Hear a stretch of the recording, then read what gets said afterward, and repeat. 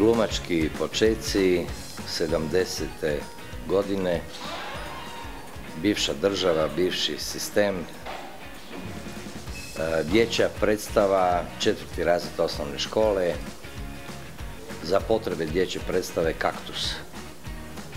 I Kaktus predstava se zvala Tajna zakopanog blaga u režiji starog jednog poznatog makedonskog kreatelja gospodina Georgijevskog i jedini zadatak bez teksta kaktus na koji se napikavaju zločesti kauboji.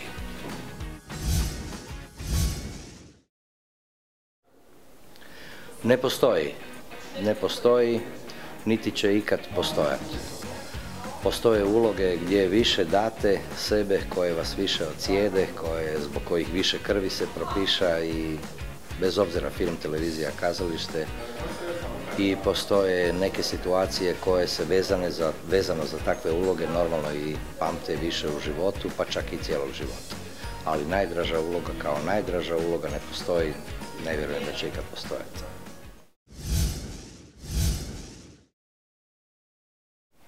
Obično bi čovjek rekao da je vezana uz neke nagrade, priznanja, ali vezano za mene što apsolutno ne vjerujem da itko zna, iz jednostavnog razloga da bi tome pridodao neku pažnju. Postoje dva rariteta unutar samog hrvatskog glumačkog stvaralaštva, bez obzira na televiziju, film ili kazalište.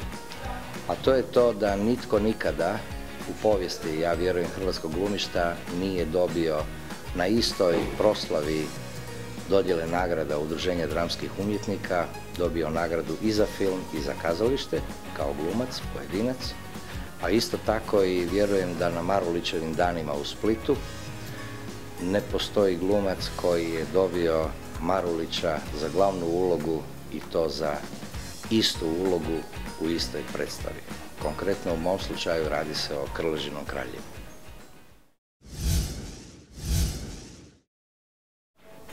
Pa, peder je, šalim se. Ništa, jedno moje gorko iskustvo od 56 dana trajanja mojeg JNA, s tim da je zadnjih 11 dana bilo ludnice u Vrapču na neuropsihijatarskom odjelu, ali danas bi se to kulturno reklo ne samo u Saboru, nego i šire, sukob interesa.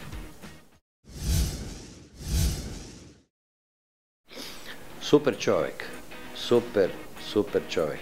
Vrlo pristupačan, dostupan, bez ikakvog, kak da velim, preznaka izigravanja zvijezde ili bivanja zvijezdom.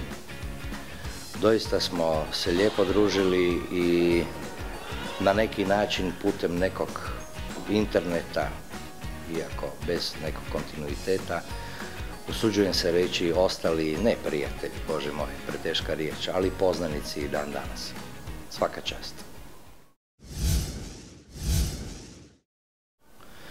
Dimnjačar večeras, e, točno slovom i brojkom, 1133. puta. To ima, ima, ima jedno 8 metara.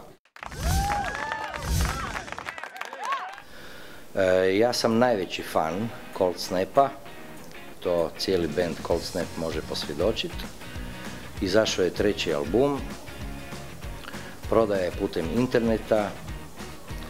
I ono zbog čega sam uvijek žalostan i zbog čega mi je uvijek žao, a nema veze s činjenicom da je u Cold Snapu moj sin Jan, mislim da je to najjači trenutno band u smislu i promocije i svega skupa na kompletnoj svjetskoj rock glazbi. Bez obzira što žanrovski opredjeljeno radi se o metal glazbi.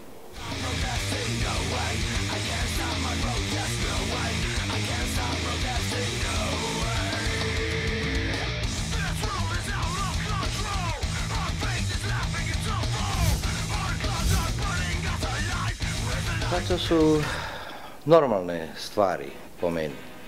Apsolutno, ako sam u funkciji redatelja, nemilosrdan sam, tražim ono što tražim, da bi nam svima bilo bolje, da bismo od publike bili prihvaćeniji bolje, prepoznatljiviji bolje i isto tako da svaki dio kolača što nosi svaki glumac sa svojom ulogom u dotičnoj predstavi da maksimalno funkcionira do kraja.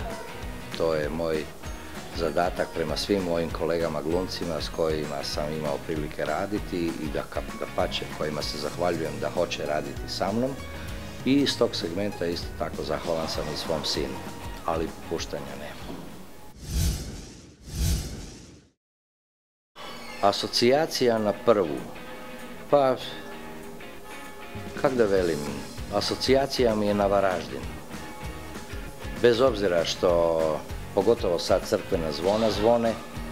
Ne znam kakav je život na ovim skučenim ulicama, govorim prije svega o nekakvoj kvadraturi prostora, grada, njegove širine, veličine i tako dalje, ali Ivanić gradu se nema po tom pitanju što zamjeriti, po tom pitanju što ja hoću reći.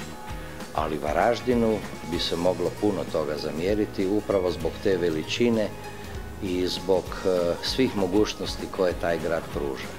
Ja sam siguran da i u ovom trenutku u Varaždinu zvona zvone, ali ne znam kome zvone jer su prazne ulice i taj grad je totalno zamro. Sva sreća da mi sad razgovaramo u vrijeme kad se održavaju varaždinske barokne večeri.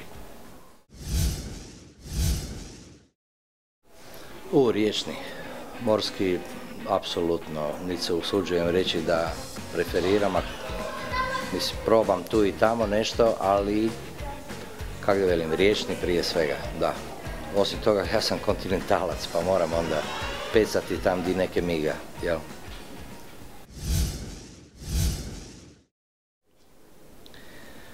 Fuh, nije muka Isusova, jer je, smo dobili janjca na poklon, ja sam ga dobio na poklon, i normalno da sam se za društvo pobrinuli da ga svi skupa konzumiramo, ali smo dobili zver od nekih jedno 26 kila, 27, tak da pečenje janjca prvi puta s tom kilažom, a to svi majstori janjetine i pečenja janjca znaju, nije baš za početnika ovak, recimo, lak zadatak ali da je apsolutno veliki izazov, to je istina i to je činjenica.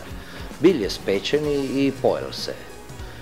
Sad, jedna olakotna okolnost je ta da dan poslije, dva dana poslije, niko nije nazval da mu je zlo ili da se zbljuvo, ali ne znam, možda su ljudi iz pristojnosti prešutili to kako smo ga mi spekli, pa su čekali neku bolju novu priliku nekog jančeka tam negdje od nekih 15, 16, 17, ne, ali i to bude došlo.